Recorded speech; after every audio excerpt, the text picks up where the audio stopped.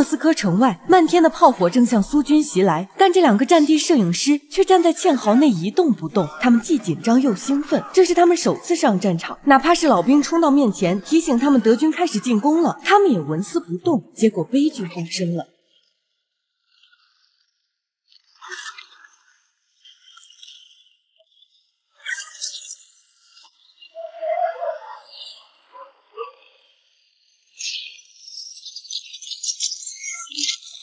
一场炮击下来，战士们伤亡惨重，能作战的士兵也寥寥无几。指挥员阿列克连忙叫醒被炸晕的士兵，进入战斗岗位。稍微疏忽一点，他们可能就会永远留在这里。不远处的德国喷火兵已经探出头了，空气中也逐渐传来了焦尸味。战士们见状，纷纷拔出刺刀检查弹药，迎接即将到来的恶战。冲锋前，阿列克还特意嘱咐摄影师一定要藏好，千万不要乱跑。可还没等两人反应过来，一声乌拉响彻阵地，战士们就发起了冲锋。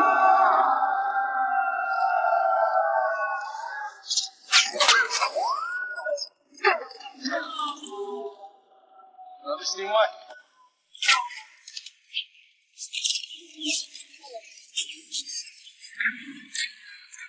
待在摄像机后面的两人望着搏杀的镜头，怎么看都感觉不对。这要是拍好拿回去，指定会挨骂。为了得到更好的效果，他们把摄像机挪出战壕，深入险境，拍起了战士浴血奋战的画面，把危险完全抛之脑后。而德国喷火兵就在前方不远处，稍微偏差一点，他们就会命丧此处。可还没等他们调整好机位，装好胶卷，一名德国士兵拿着枪就走了过来。好在一旁的士兵及时用铁丝勒住了他，不然后果不堪设想。两人刚刚脱离险境，这边刚开机，安德烈又被一发弹片划伤了脑门，鲜血瞬间模糊了。双眼，伊万示意他赶紧起来工作，可话音刚落，他就被一个德国士兵扑倒在地，死死地压在了下边，手里的刺刀已经顶在了胸口上方，眼看就要坚持不住，他大声呼救，让安德烈赶紧救救自己。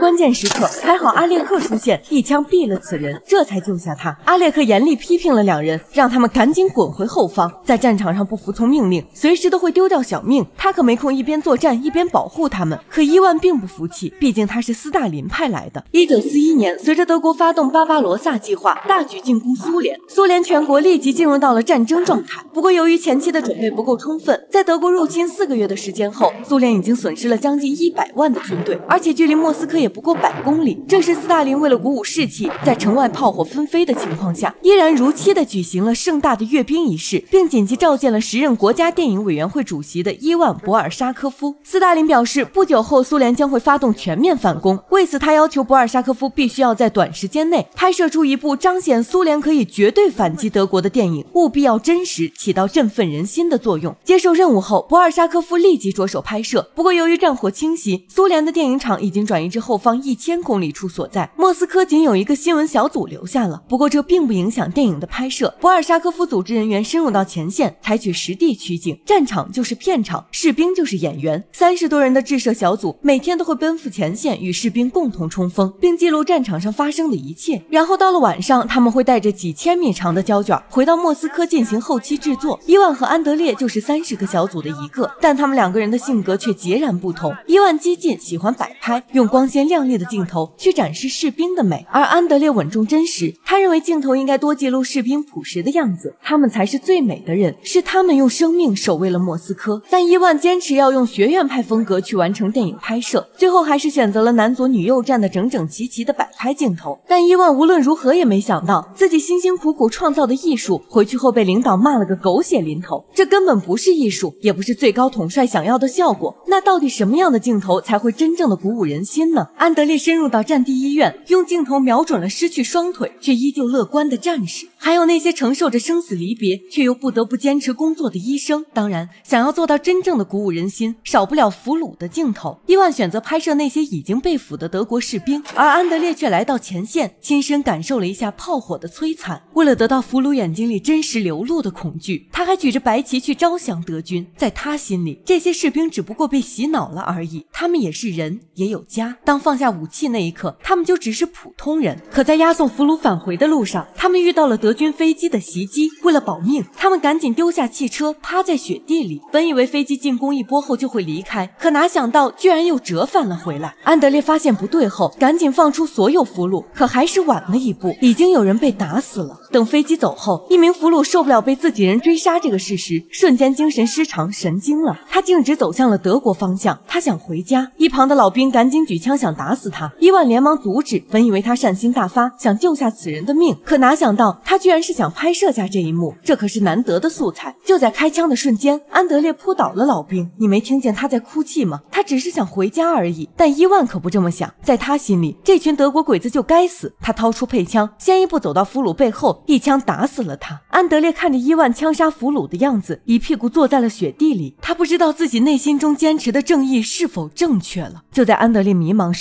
前方传来了噩耗：丧心病狂的德军袭击了这个小村子，他们把村民吊死在了广场上。安德烈看见后，想记录下德军残暴的一幕，他赶紧掏出证件说明理由，但是遭到了村民的拒绝。一个老大娘拿着绳子狠狠地抽打他，让他赶紧离开。可安德烈思考再三后，还是决定说服他们留下这一幕，让世人看清战争的残忍。最后，在他的坚持努力下，村民才同意了拍摄。当这些镜头拿回总部后，连博尔沙科夫都不禁落下了眼泪。随着战事推移，德军准备撤军了，他们也要去拍摄最后一组镜头了。伊万为了获得更好的拍摄效果，他让士兵在镜头前摆拍，好展现出战士们英勇冲锋的一面。可这是战场啊，子弹又不会长眼睛。冲锋开始后，战士们还没跑出去三米远，就被一枪击中倒了下来。看着死前还在道歉的士兵，伊万后悔了。他终于知道自己和安德烈之间的不同了。士兵毕竟不是演员，战场也不是摄影棚。无论你如何导演剧情的走向，意外总会先一步来临。醒悟后的伊万不再一成不变地坚持自己的信念，而是把镜头对准了那些真正浴血奋战的人，直到最后用生命记录下了莫斯科反击战里最精彩的一幕。一个半月后，工作基本完成了。在三十个摄制小组的配合下，莫斯科反击战于一九四二年二月十八日在苏联电影院上映。当时制作了八百份副本，并在同一天发送到全国各地，在包括陆军团在内的其他各种礼堂展出。其中一部分被送往美国、英国、伊朗和土耳其。同年，这部电影获得了美国国家电影评论家协会的奖项。随后于一九四三年获得奥斯卡奖。摄影师布尼莫维奇回忆道：“每次开始前，我都要躺在雪地里，用羊皮大衣给相机取暖。”联合导演科佩林回忆道：“深夜，他们回到工作室，带着数千米无价的镜头回来，准备好第二天的装备。查看完白天拍摄的材料，睡了大约一个小时的觉后，就要再次赶往前线。这是一项非常艰巨的任务，每个人都要认真起来。时至今日，《莫斯科反击战》这部电影依然在影响着全球无数观众的心，可它背后拍摄的艰辛故事却无人知晓。如果你对这段历史比较感兴趣，不妨看下这部俄罗斯最新电影《第一座奥斯卡》。我是初瑶，我们下期再见。